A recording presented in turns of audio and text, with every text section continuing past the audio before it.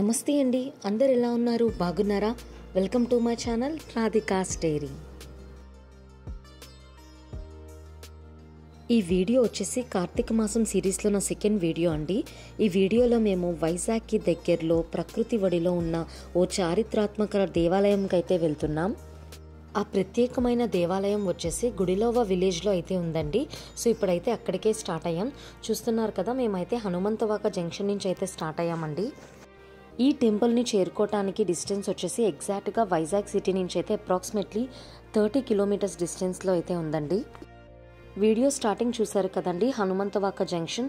So Hanumanthawaka junction నుంచి అయితే ఎగ్జాక్ట్గా ట్వంటీ ఎయిట్ కిలోమీటర్స్ డిస్టెన్స్లో అయితే ఈ ప్లేస్ ఉంది. ఇలా హనుమంతవాక జంక్షన్ నుంచి సింహాచలం రోడ్లో వెళ్తూ అడివరం జంక్షన్ వస్తుంది కదండి. సో ఈ అడివరం జంక్షన్ దగ్గర మనం అయితే రైట్ టర్న్ తీసుకొని సొంటాం రోడ్డుకైతే అయితే వెళ్ళాలి. సొంటాం రోడ్ అంటే అందరికీ ఆల్మోస్ట్ ఐడియా ఉంటుంది. సో ఇదే వేలో మనం కాలభైర స్వామి టెంపుల్కి అయితే వెళ్తామండి. సో భైరవ కోన వే ఏదైతే ఉందో ఇదే రోడ్లో అనమాట నా ప్రీవియస్ భైరవకోన వీడియోస్ అన్నీ కూడా చీకట్లో చూసుంటారు కదా. బట్ యాక్చువల్గా ఈ రోడ్ అయితే ఇలా ఉంటుందండి వెలుతురులో చూస్తున్నారు కదా.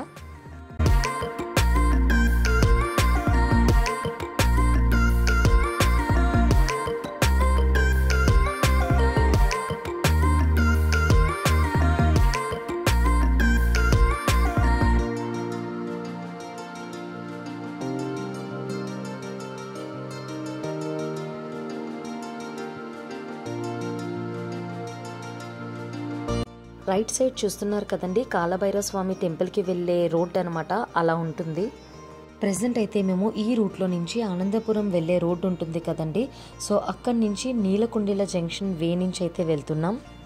మీరు కావాలనుకుంటే రిటర్న్లో కూడా భైరవ కోనని ప్లాన్ చేసుకోవచ్చండి.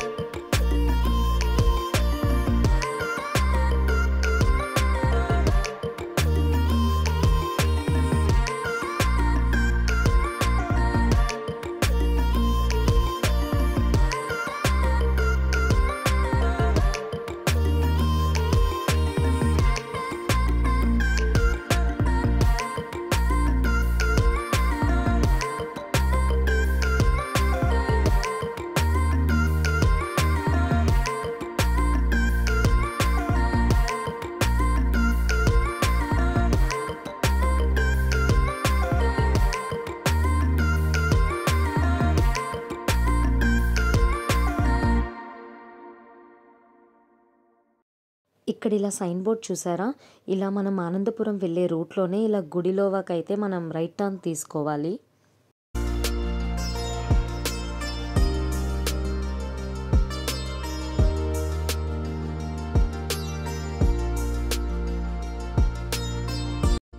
చూస్తున్నారు కదా ఇక్కడ ఎంట్రన్స్లోనే ఇలా విజ్ఞాన విహార రెసిడెన్షియల్ స్కూల్ గుడిలోవా అని రాసుంది కదా. సో దీన్ని స్ట్రెయిట్గా అయితే మనం వెళ్ళాలి. ఇక్కడ నుంచి జర్నీ అనేది చాలా చాలా బాగుంటుందండి. ఒక డిఫరెంట్ ప్లేస్లోకి వచ్చినట్టు ఫీలింగ్ అనేది వస్తుంది. ఎందుకంటే అప్పటి నుంచి కూడా మనం హైవే మీద అలా ట్రావెల్ చేసాం కదా. సడన్గా ఇలా టర్న్ తీసుకోగానే ఒక డిఫరెంట్ అట్మాస్ఫియర్ అనేది మీరు చూడొచ్చు. ఈ రోడ్ అనేది కూడా చాలా వెల్ మెయింటైన్ అండి. వీడియోలో అయితే మీరు చూడొచ్చు క్లియర్గా ఈ టెంపుల్కి వెళ్ళే రూట్ ఏదైతే ఉందో ఈ రూట్ అంతా కూడా చాలా చాలా బాగుంటుంది.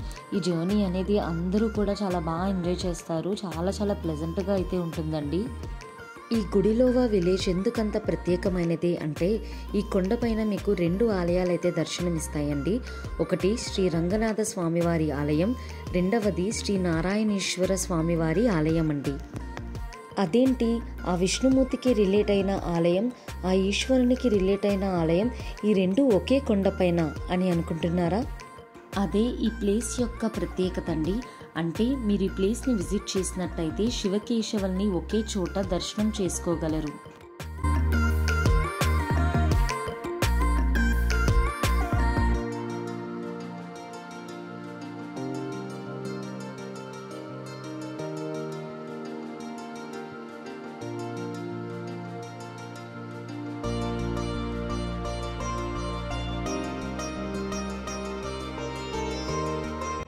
చూస్తున్నారు కదండి దారిలో ఇలా వెళ్తున్నప్పుడే మనకైతే కొండపైన టెంపుల్ అయితే దర్శనమిస్తుంది. సో టెంపుల్ వచ్చేసి అదే శివాలయం అండి. అండ్ పక్కనే విగ్రహం చూస్తున్నారు కదా అది వచ్చేసి ఆంజనేయ స్వామి విగ్రహం. చూస్తున్నారా రోడ్డు పైనుంచే మనకి ఎంత అందంగా అయితే ఇవి దర్శనమిస్తున్నాయో.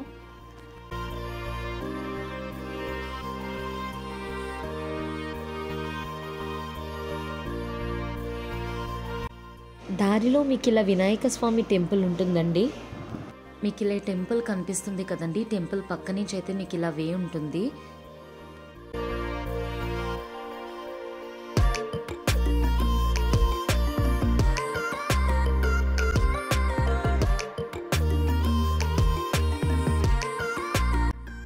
ఈ ఎడ్జ్కి వచ్చాక ఇక్కడి నుంచి వ్యూ ఉంటుంది కదండి. ఆ వ్యూ అయితే ఇంకా అద్భుతంగా ఉంటుంది. చూస్తున్నారు కదా. అసలు ఆ మాటల్లో చెప్పలేమన్నమాట. అంత బాగుంటుంది.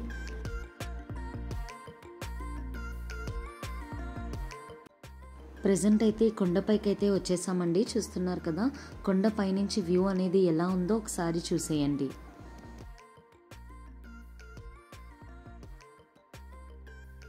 దారిలో వస్తున్నప్పుడు ఆంజనేయ స్వామి విగ్రహం చూసుంటారు కదా కొండ కింద నుంచి. సో పైనుంచి వ్యూ అనేది ఇలా ఉంటుందన్నమాట. చూస్తున్నారు కదా?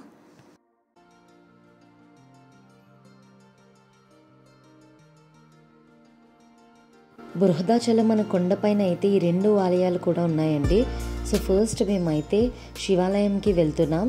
అండ్ ఈ శివాలయాన్ని ఇక్కడ శ్రీ నారాయణేశ్వర ఆలయంగా అయితే పిలుస్తారు. ఈ శివాలయంకి వెళ్ళే రూట్ అయితే ఇలా ఉంటుందండి. మీకైతే ఒక ఫారెస్ట్ ఏరియాలో ట్రావెల్ చేస్తున్నట్టయితే అనిపిస్తుంది. సో అలా ఉంటుందన్నమాట.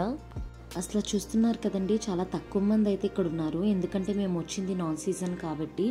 అదే మీరు సీజన్లో వచ్చినట్టయితే అంటే కార్తీక మాసం టైంలో అయితే అసలు చాలా చాలా రష్ ఉంటుందంట. అసలు ఇలా అయితే ఉండదు.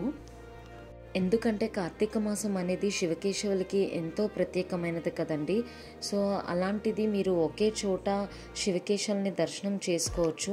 సో ఎక్కువ మంది ఈ క్షేత్రానికి అయితే వస్తుంటారంట కార్తీక మాసంలో. అంతేకాదండి సో కార్తీక మాసం అంటే పిక్నిక్ సీజన్ కదా. సో వనభోజనాలు లాంటివి కూడా ఇక్కడ చాలా ఫేమస్ అంట. చాలామంది ఇక్కడికి వచ్చి స్వామివార్ల దర్శనం చేసుకొని ఇక్కడ వనభోజనాలు చేస్తూ ఉంటారంట. అంతేకాదండి ఇక్కడ ఫ్యామిలీ అండ్ ఫ్రెండ్స్తో ఒక మంచి క్వాలిటీ టైం అయితే ఇక్కడ స్పెండ్ చేయొచ్చు.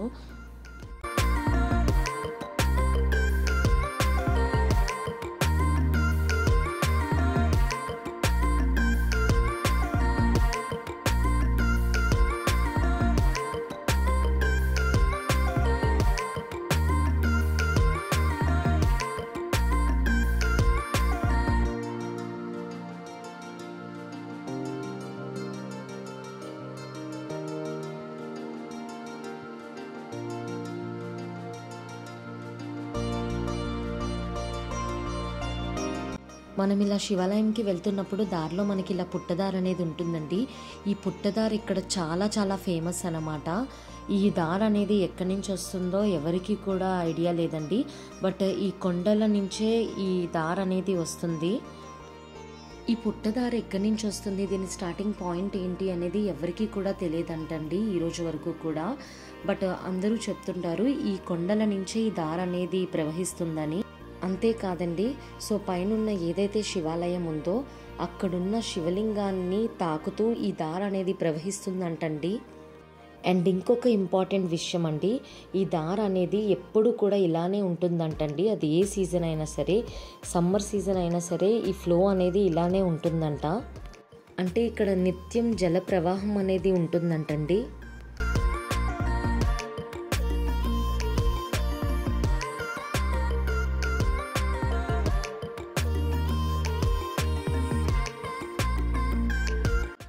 ఇప్పుడైతే గుడి లోవలో ఎంతో ఫేమస్ అయిన ఇక్కడున్న శివాలయం అయితే చూసేద్దాం రండి. ఈ ఆలయాన్ని ఇక్కడ శ్రీ నారాయణేశ్వర స్వామి ఆలయంగా పిలుస్తుంటారు. ఈ ఆలయం సుమారు నూట ముప్పై సంవత్సరాల క్రిందట దంతులూరి నారాయణ గజపతి రాజు గారిచే నిర్మించబడిందంటండి.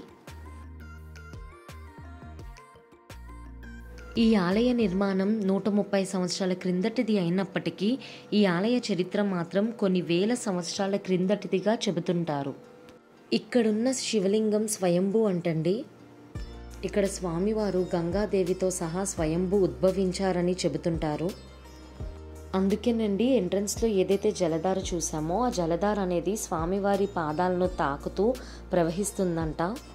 ఇంత గొప్ప చరిత్ర ఉన్న ఈ ఆలయం అయితే ప్రస్తుతం పరిస్థితి ఇలా ఉందండి. సో దీనికి అసలైన కళ అంతా కూడా కార్తీక మాసం టైంలో అయితే ఉంటుంది. మేము వెళ్ళేసరికి టెంపుల్ అనేది క్లోజ్డ్లో ఉందండి చూస్తున్నారు కదా. ఈ టెంపుల్కి రీచ్ అవ్వడానికి రోడ్ ట్రాన్స్పోర్ట్ అంతా కూడా చాలా బాగుంటుంది.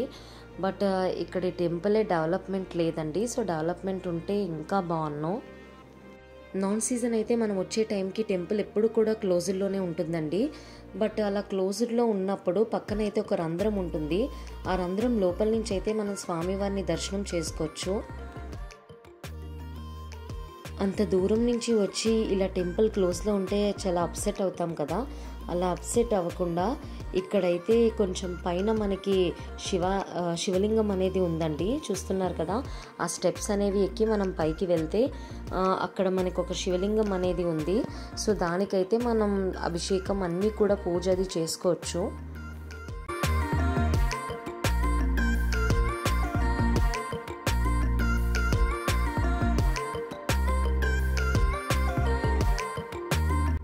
ఇదేనండి ఆ శివలింగం.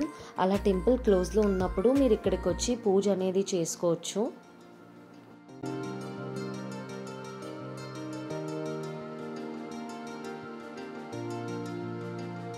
ఇక్కడ ఇలా స్టెప్స్ చూస్తున్నారు కదండి ఒక వేలా ఉంది.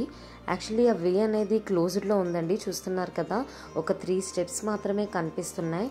ఆ మిగిలిన ఏవి కూడా మనకి కనిపించట్లేదు. మొత్తం ఆ- ఆ చెట్లతో పొదల్లా ఉన్నాయి కదా. యాక్చువల్లీ అక్కడ పైకి కొంచెం వన్ కిలోమీటర్ వరకు వే ఉంటుందంట. అక్కడ మనకి విష్ణు పాదాలు ఉంటాయంటండి. శివలింగం దగ్గర ఏదైతే జలధార ప్రవహిస్తుందని చెప్పానో అదే జలధార విష్ణు పాదాల వద్ద కూడా ప్రవహిస్తుందంటండి. మేము వెళ్ళేటప్పుడు వే అయితే ఇలా ఉందండి? సో పైకి ఎక్కడానికైతే మేము అస్సలు ట్రై చేయలేదు. ఎందుకంటే ఖచ్చితంగా పాములు అయితే ఉంటాయండి దట్టు మేము వెళ్ళింది సెప్టెంబర్ మంత్లో. సెప్టెంబర్ మంత్ అంటే మంచి వర్షాలు పడే టైం కదా.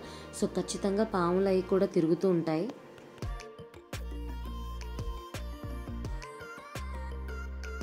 వీడియోలో బ్లూ శారీలో ఒక ఆమె కనిపిస్తుంది చూస్తున్నారా? యాక్చువల్లీ ఆమె మొత్తం అక్కడున్న పొదలు ఎన్ని కూడా నరుకుతున్నారు. ఇప్పుడు మేము వచ్చిన ఈ స్టెప్స్ మార్గం కూడా ఈ వే అనేది కూడా ఇలా ఈ పొదలతో మొత్తం మూసుంటే సో ఆవిడ అలా క్లియర్ చేస్తున్నారనమాట ఆ పొదల్ని ఎన్ని కూడా నరుకుతూ ఆ వే అనేది క్లియర్ చేస్తున్నారు. ఆవిడ చెప్పారండి పైన ఇలా విష్ణు పాదాలు కూడా ఉంటాయి బట్ చాలా పాములు అయి ఉంటాయి ఇంకా వే క్లియర్ చేయలేదు కదా సో వెళ్ళటానికి సేఫ్ కాదని.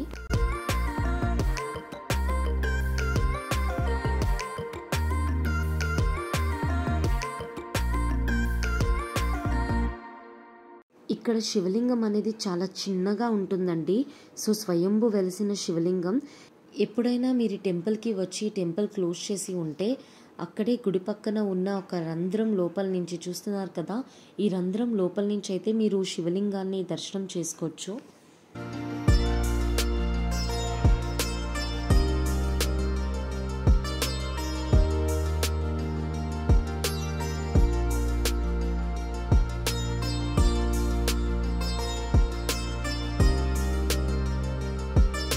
చూస్తున్నారు కదండి ఈవిడేనండి భక్తులు ఎటువంటి ఇబ్బందులు పడకుండా ఉండటానికి ఈవిడ వే అనేది మొత్తం కూడా క్లియర్ చేస్తున్నారు. ఈ ఏజ్లో కూడా ఆమె అంత డేరింగ్గా అసలు ఆ పొదల్లో ఏముంటాయో తెలియదండి. ఖచ్చితంగా పాములు లాంటివి అయితే ఉంటాయి. ఎందుకంటే కొండ ప్రాంతం మీరు చూస్తున్నారు కదా ఎలా ఉందో. అయినా సరే ఆమె ఎవరు ఇబ్బంది పడకూడదని చెప్పేసి అంత డేరింగ్గా చక్కగా ఆ వేన్ అనేది క్లియర్ చేస్తున్నారు. ఇలాంటి వాళ్ళని చూస్తున్నప్పుడు చాలా ఇన్స్పైర్ అవుతూ ఉంటాం కదా.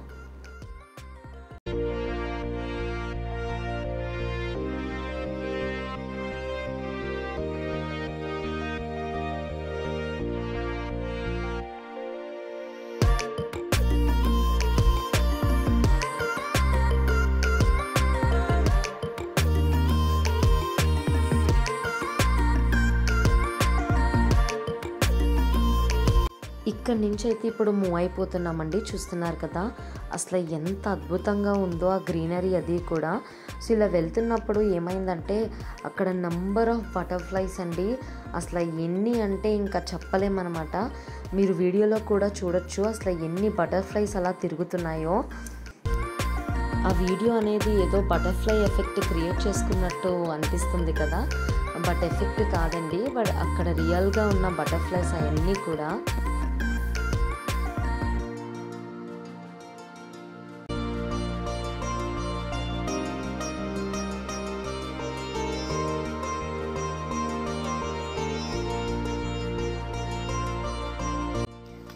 సో ఇప్పుడైతే ఈ ప్లేస్కి మనం బాయ్ బాయ్ చెప్పేస్తున్నామండి. చూస్తున్నారు కదా ఎంత బ్యూటిఫుల్గా అయితే ఈ ప్లేస్ ఉందో. తప్పకుండా ఈ ప్లేస్ని అయితే మీరు విజిట్ చేయండి. ఎస్పెషల్లీ కార్తీక మాసం టైంలో అయితే చాలామంది భక్తులు ఇక్కడికి వస్తుంటారంట. అసలు ఖాళీ ఉండదంట.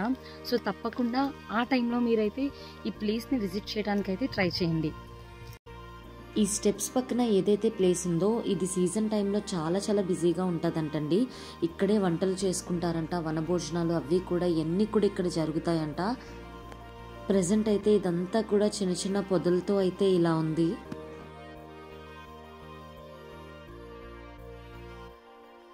ఇప్పుడైతే ఈ శివాలయం దగ్గర నుంచి పక్కనే ఉన్న శ్రీ రంగనాథ స్వామివారి దేవాలయంకి అయితే వెళ్తున్నాం.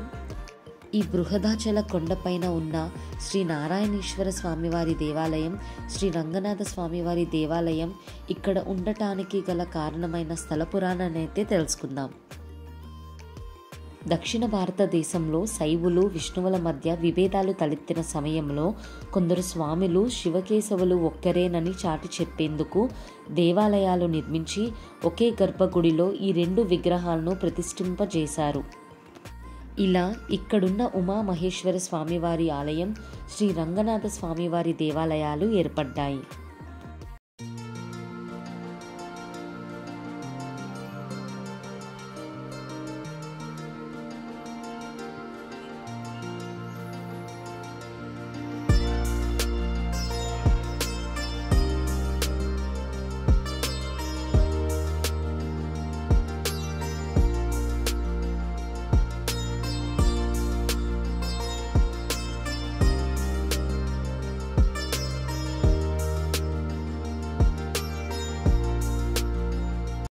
చూస్తున్నారు కదా ఇప్పుడైతే మేము శ్రీ రంగనాథ స్వామి వారి ఆలయంకి అయితే రీచ్ అయిపోయాం. ఇక్కడ నుంచి ఈ కొండల యొక్క వ్యూ అయితే ఒకసారి చూసేయండి. ఎంత అద్భుతంగా ఉందో. అక్కడ చూస్తున్నారు కదండి వీడియోలో ఒక పొదలాగా ఏదైతే ఉందో అక్కడేనండి. విష్ణు పాదాలు శ్రీచక్రం అనేది అక్కడ ఉన్నాయంట. చూస్తున్నారు కదా ఎంతలా పొద అనేది ఎలా అల్లుకుపోయాయో.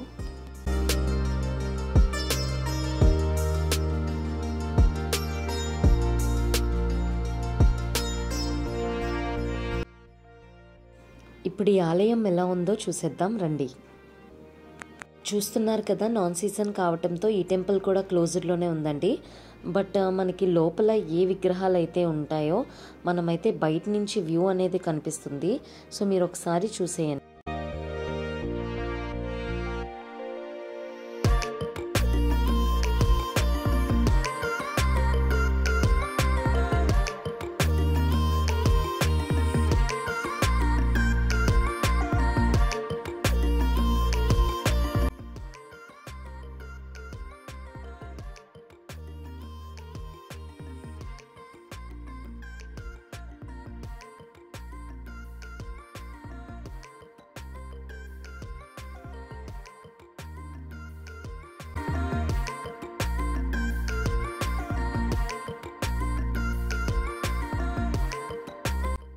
చూశారు కదండి ఇదేనండి రంగనాథ స్వామివారి ఆలయం. ఈ రెండు ఆలయాలు కూడా ఒక ప్రశాంతమైన ఎన్వైర్న్మెంట్లో అయితే ఉన్నాయండి. చూస్తున్నారు కదా అసలు ఎంత పీస్ఫుల్గా ఉంటుందంటే ఈ ప్లేస్. మీరు తప్పకుండా ఇక్కడికి ఒకసారైనా వచ్చి ఈ ప్లేస్ అనేది విజిట్ చేస్తే మీకు తెలుస్తుందండి. మీకు వీలైతే కార్తీక మాసం టైంలో అయితే చక్కగా మీ ఫ్యామిలీ కానీ ఫ్రెండ్స్తో కానీ వచ్చినట్టయితే మీరు ఒక మంచి టైం అనేది ఇక్కడ తప్పకుండా స్పెండ్ చేస్తారు.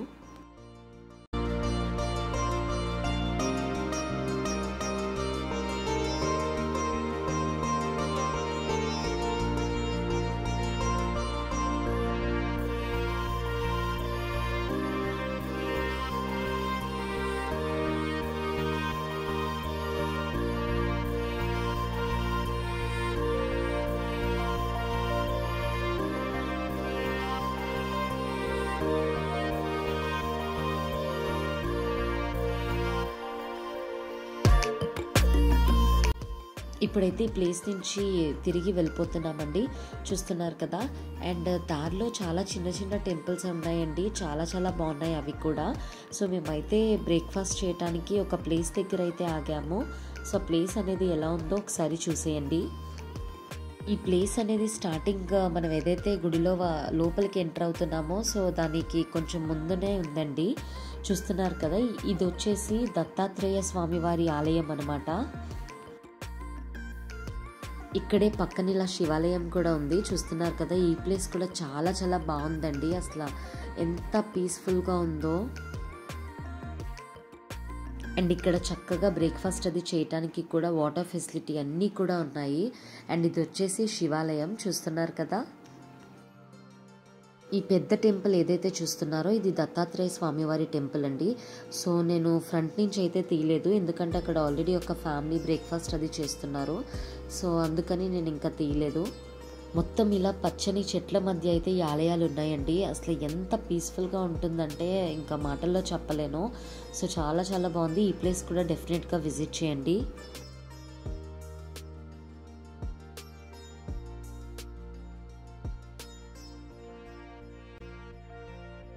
చూస్తున్నారు కదా ఇంకా ఈ గుడిలోవా విలేజ్ నుంచి ఇంకా రోడ్ సైడ్ వెళ్తున్నాం అన్న ఒక కొన్ని అడుగుల డిస్టెన్స్లో అయితే ఉంది ఈ టెంపుల్. మేము ఇంక ఇక్కడ బ్రేక్ఫాస్ట్ అన్నీ కూడా కంప్లీట్ చేసుకొని ఇక్కడ నుంచి అయితే మూవ్ అయిపోతున్నాము. ఈ వీడియోని అయితే ఇక్కడ ఎండ్ చేస్తున్నానండి.